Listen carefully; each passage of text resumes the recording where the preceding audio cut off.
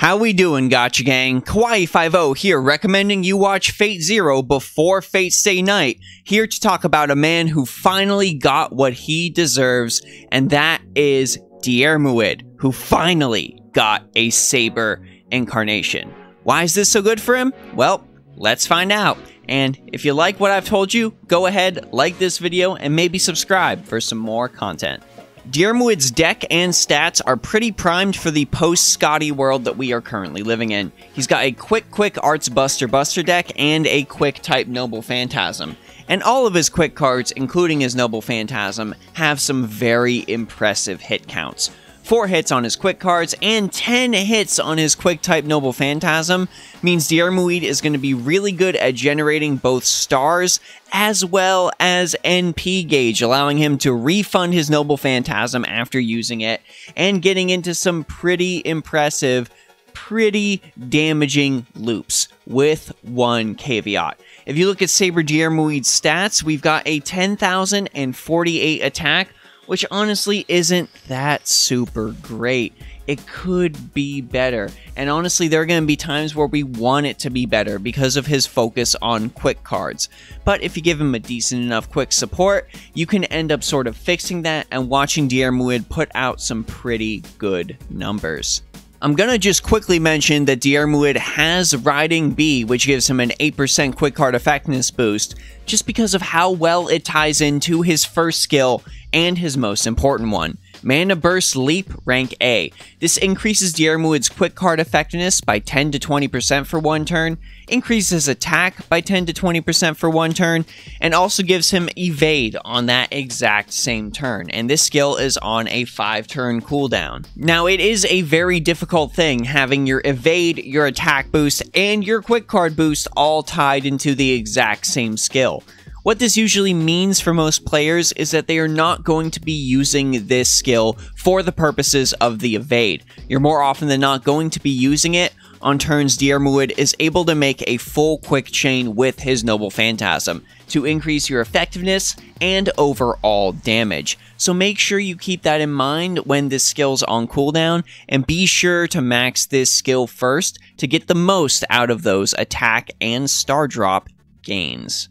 Diarmuid's second skill is Honor of the Knights of Fianna rank B. This increases his star gather rate for 3 turns by 300 to 600% and also grants him 5 to 15 critical stars on the turn it is activated. Now, the big thing about this skill is the fact that it gives that star gather for 3 turns, with Diarmuid being a Saber, he's already got about average Star Gather, so this is going to ensure that more of those stars go towards him, especially if you're pairing him with some of the more star-heavy support options that we're going to mention over in the Allies section.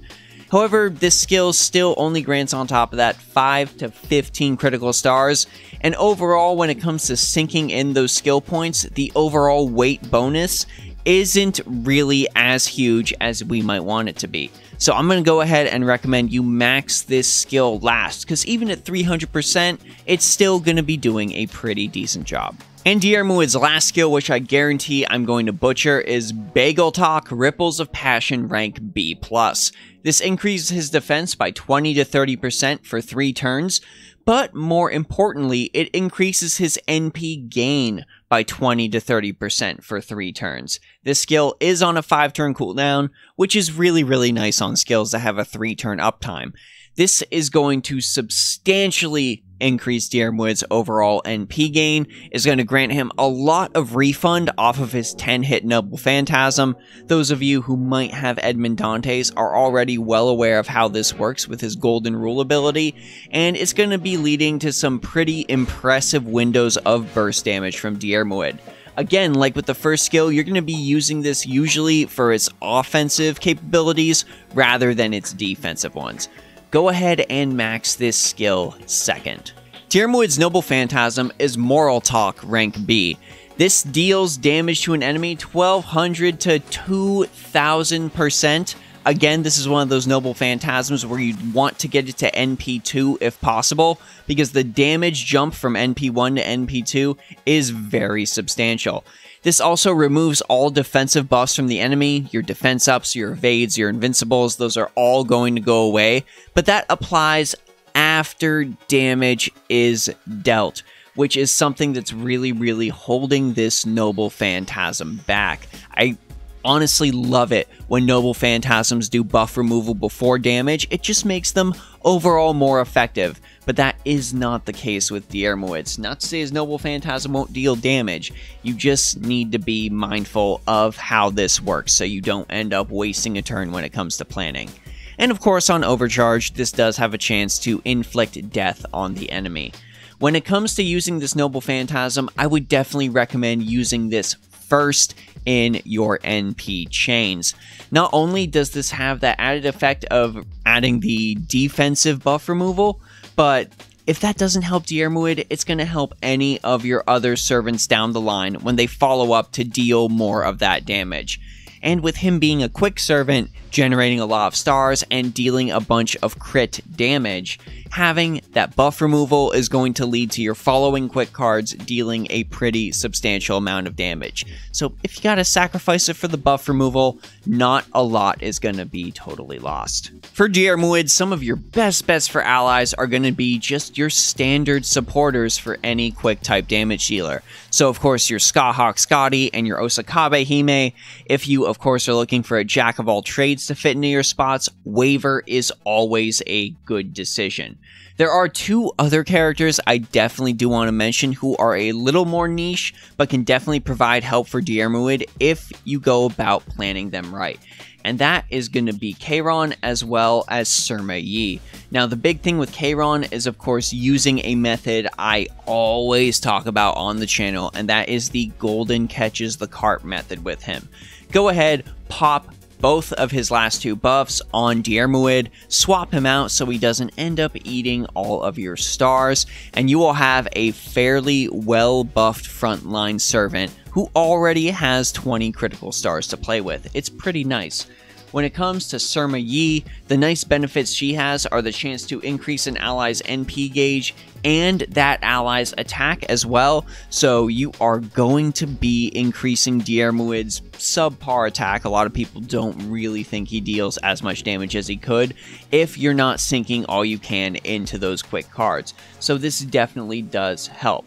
Of course, her first ability, Tactician's Advice, is going to tack on an additional 10% NP gauge, so that is going to be very, very helpful. And after her overall strengthening quest that gives her Volumen Hydrargyrum, EX, she is going to grant 10 to 20% NP gauge on top of that. So you're going to be able to grant your allies overall 50% NP gauge. This gives Diarmuid a lot more room to play around with certain craft essences.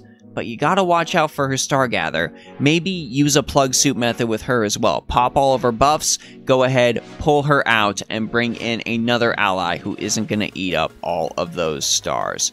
When it comes to your craft essences on Diarmuid, you generally want to go for quick effectiveness, NP strength, as well as starting NP gauge if possible. I promise, having that extra starting NP gauge and having a Skadi, a Waver, a Sima Yi on your team, that is going to help you a lot when it comes to coming out of the gate with him and starting to get that extra damage and those extra stars and that extra NP gain.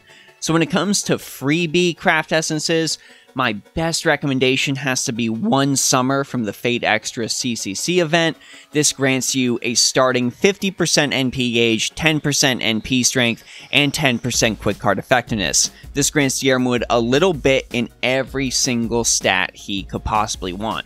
Of course, Golden Sumo is always a fantastic pick for any main attacker. You're giving up a little bit of that star gen that you would get from the quick card effectiveness boost, but you're getting an overall boost to attack that he does need to be stronger. If you want to focus instead on NP strength and NP gain, I can definitely recommend, if you happen to have this, Distant Pilgrimage from the Apocrypha Inheritance of Glory event. This grants starting NP gauge, NP strength, and NP gain, and is overall just a really good craft essence for your NP focused characters. And if you don't have any of these as an option and you're really, really, really pressed for an overall boosted craft essence, you can always give him Holy Night Sign. This is quick card effectiveness and critical strength. It doesn't offer that starting NP gauge that we're looking for, but it does offer him bonuses to quick effectiveness and bonuses to crits, which he will be doing plenty of. So as far as our command codes go, I'm going to go ahead and design this around which types of command codes I think are best on each of Diarmuid's cards. You probably won't be able to put all of these command codes on each type of card, but when you see generally what I'm going for, you're going to be able to sub in and out other command codes you have.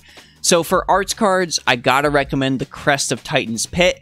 This increases the NP gain rate of the engraved card by 5%. It is a super simple command code boost, but it is gonna give Diarmuid that NP gain that he desires.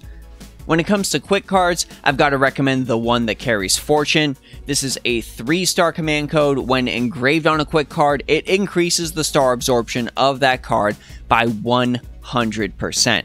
So by making sure all of our stars are flowing to our quick cards, we are not only just making sure our stars are flowing to Diarmuid's primary source of damage, but also his primary source of NP gain and star generation as well. You're going to be doing a lot of quick Brave chains or maybe even QQA chains with this guy, so make sure those stars are going where you want to see them.